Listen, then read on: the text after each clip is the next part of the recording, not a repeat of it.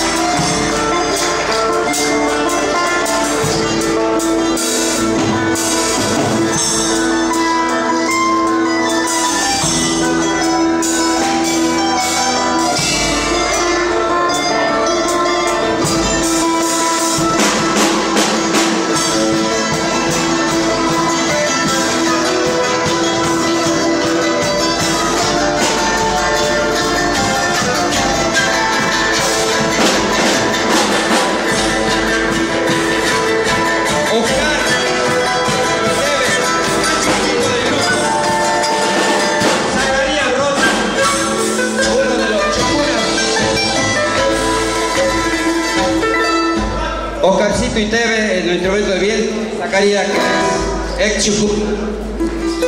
Ya lo conocen. Bien, vamos con otro instrumental y después vamos a ir mostrando lo que se llama Sumar.